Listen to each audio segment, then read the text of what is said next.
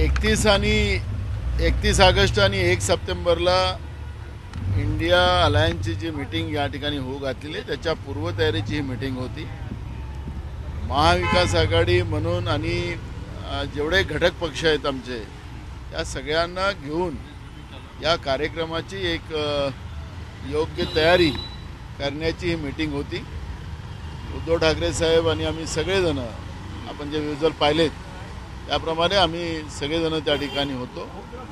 आम्ही होस्ट असल्यामुळे आणि पूर्ण देशातून जवळपास सात मुख्यमंत्री सगळे विशेष करून सोनियाजी राहुलजी खरगेजी हे सगळे लोक आपल्या महाराष्ट्रात येतात आहेत. त्यांचं योग्य स्वागत या ठिकाणी करता यावं. आणि महाराष्ट्राचा इंडिया इंडिया आघाडीचं एक मॅसेज संपूर्ण देशामध्ये केंद्रातल्या नरेंद्र मोदीच्या तानाशा सरकारला उलथून लावण्यासाठी मुंबईतून हा आवाज जावा अशा पद्धतीचं एक प्लॅन आम्ही आज केलेला आहे. त्या पद्धतीची ही तयारी होती. पवारांनी सभा घेतलेली आहे. पवार म्हणाले की मुंडेंना उलटून टाकेल इथली जनता. बिलकुल आता जे कोणी बी जे पी सोबत जाणार बी जे पी सोबत भय आणि भ्रष्टाचाराने काही लोक जातील. बी जे पी तर संपणारच पण ते जाणारे पण संपतील असा त्याच्यामध्ये शरद पवार साहेबांचा अर्थ होता आणि त्या पद्धतीची त्यांनी भूमिका मांडलेली त्यांचं त्यांचं खच्चीकरण होतं ते दुसऱ्या पदावर येतात असं सुद्धा म्हणाले. बिलकुल आपल्या राज्यातलंच उदाहरण आहे.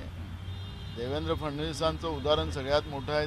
आता नरेंद्र मोदींनी ते उदाहरण घेतलेलं आहे म्हणून ते खालच्या पदावर येतीलच. अजित पवार यांच्यासोबतच्या भेटीमुळे जो संभ्रम निर्माण झाला होता तो आजच्या शरद पवार यांच्या भाषणामुळे तो दूर झालेला असं वाटतं का? आम्ही तुम्ही अजूनही स्टेटमेंट आमचं तपासा. संजय राऊतांचं असो की माझं असो. आम्ही सांगितलं होतं की जनतेमध्ये संभ्रम निर्माण होत आहे.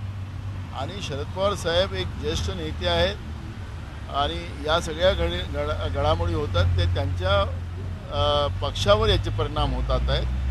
महाविकास आघाडीवर कुठलेही परिणाम होणार नाही अशीच भूमिका आम्ही त्या काळात मांडलेली होती.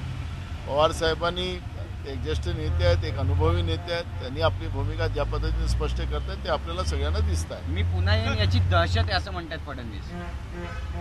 त्याने आलेच नाही ना दहशत कुठं आहे? त्याच्यामुळे आता तर भारतीय जनता पार्टीची उलटी गिनती सुरू झालेली आहे हेच आपण पाहतोय. सर शासकीय आज शासकीय स्नेहभोजन होतं.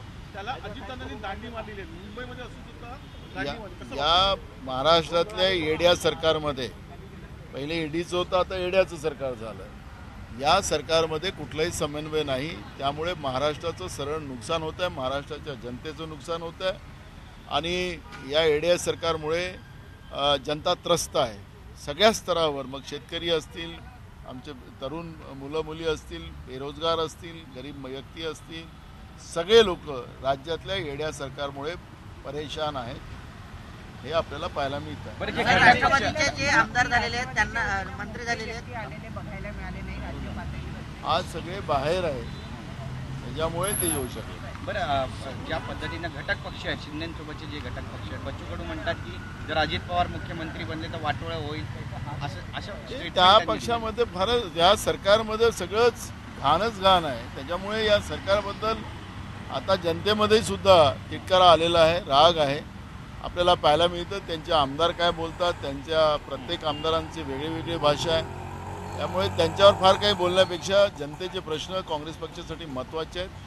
आणि काँग्रेस पक्षाचे म- म- प्रश्न घेऊन आम्ही वाटचाल करतो आहे पण आता इंडियाकडे नाराजी समोर येते का? कारण भरत गोगावले खूप आहे खूप आहे. दोन मिनिटं सांग ना. खूप आहे. नाराजी या सरकारबरोबर सरळ सरळ स- आमदारांची त्यांच्या स्वपक्षाच्या आमदारांची आहे आणि जनतेची पण आहे. सर इंडियाच्या बैठकीत यजमान पदावरून जो वाद होता तो या विषयात यजमान नाही म्हणजे यजमान पद हिंदी. यजमान पद इंडियाच्या बैठकीत यजमान पद. मुख्य बातें हैं जो आज इंडिया मीटिंग को लेकर के डिस्कस हुई मातोश्री इकतीस अगस्त और एक सितंबर को जो इंडिया अलायंस का मीटिंग मुंबई में होने जा रहा है ये मीटिंग बहुत अच्छे से हो और केंद्र में जो नरेंद्र मोदी की तानाशाह सरकार जो बैठी है उस सरकार को सत्ता से बाहर करना यही मकसद है, क्योंकि इसी मुंबई से महात्मा गांधी जी ने चलो जाओ का नारा लगाया था और डेढ़ सौ साल जो अत्याचारी अंग्रेज़ की सत्ता सरकार थी, सत्ता थी, उसको यही मुंबई से पूरे देश में आवाज़ गया था। उस समय में भी महात्मा गांधी की आवाज़ थी, अब राहुल गांधी की आवाज़ है। और मुझे लगता है कि मुंबई की ये जो इंडिया अलायंस की मीटिंग जो है, वो बहुत अच्छी हो। इसीलिए आज मातोश्री पे हम लोगों का एक मीटिंग हुआ और एक प्रॉपर रणनीति एक प्रॉपर एजेंडा उसमें हमने डिसाइड किया। एजेंडा क्या कुछ रहने वाला? सरकारी प्रोग्राम था काउंसिल जनरल का आज मुंबई में ऑर्गेनाइज किया गया था। बकायदा सीएम और फडणवीस दोनों मौजूद थे। अजीत पवार नजदारत थे। कहीं ना कहीं आपको लगता है सरकार ने ये सरकार में गड़बड़ी बहुत है। ये सरकार में आपस में जनता के पसीने का पैसा लूटने की एक होड़ लगी हुई है। ये एडे की सरकार है यानी पहले ईडी की सरकार थी अब एडीए की सरकार हो गई। और ये एड़े बन के पेड़े खाने का काम इनका चालू है। और जनता को लूटने के सिवा ये दूसरा कुछ आता नहीं है। आपस में ये लड़ रहे हैं।